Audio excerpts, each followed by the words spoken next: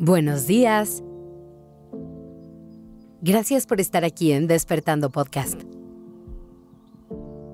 Iniciemos este día presentes y conscientes.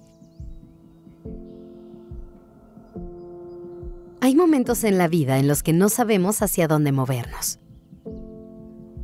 en los que tenemos que tomar ciertas decisiones y no sabemos muy bien qué camino elegir ver las distintas opciones que tenemos y hacer un proceso de selección que defina cuál es la mejor opción para nosotros puede ser algo abrumador. A lo mejor sentimos que tenemos demasiadas opciones y nos cuesta trabajo escoger entre tanto. O tal vez es todo lo contrario y no vemos suficientes posibilidades. A veces también cuesta trabajo tomar decisiones porque sentimos que nos gusta todo y no queremos sacrificar nada. Si te puedes identificar con cualquiera de estos escenarios, respira. Tomar una decisión no siempre es fácil. Conlleva responsabilidad y requiere de fuerza y valor. ¿Qué te parece si hoy nos tomamos un momento para relajarnos y pensar en algunas estrategias que nos ayuden a hacer estos momentos un poco más sencillos. Lo primero con lo que te quiero ayudar es hacer las paces con la idea de equivocarte. Si lo piensas, a veces lo que te impide tomar una decisión es la idea de elegir la opción incorrecta pensamos que si nos equivocamos ya no hay vuelta atrás. Y eso nos aterra. Pero hay que aceptar que es probable que suceda. Es más, va a suceder más veces de la que nos gustaría. ¿Y qué crees? La vida va a seguir y el mundo no se va a acabar.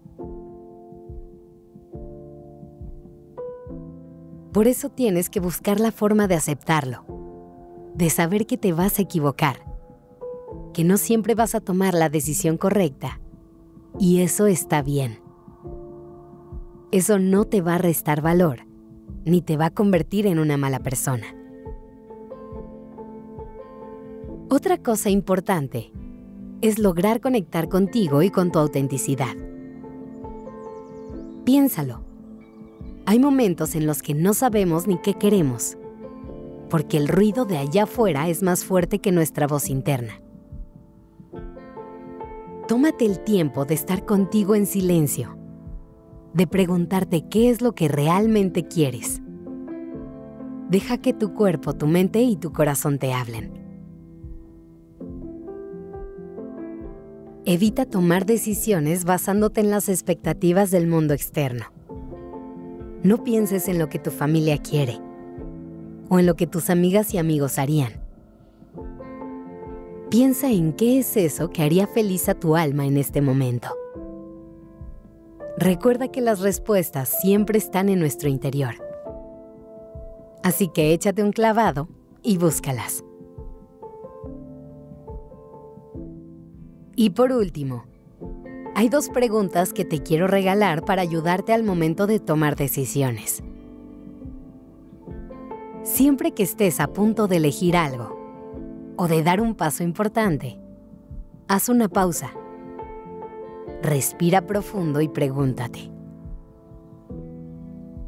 ¿qué es lo que más me va a dar paz?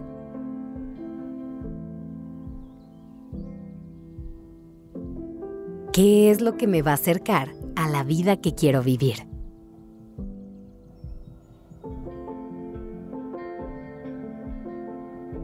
Hacerte estas preguntas te permitirá dar pasos que realmente te acerquen al bienestar y a la plenitud.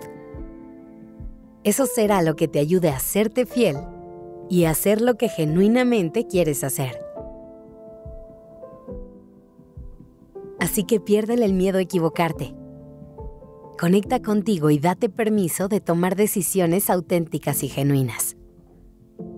Recuerda que al final del día, lo único que importa es escuchar a tu corazón y si lo haces, todo va a estar bien.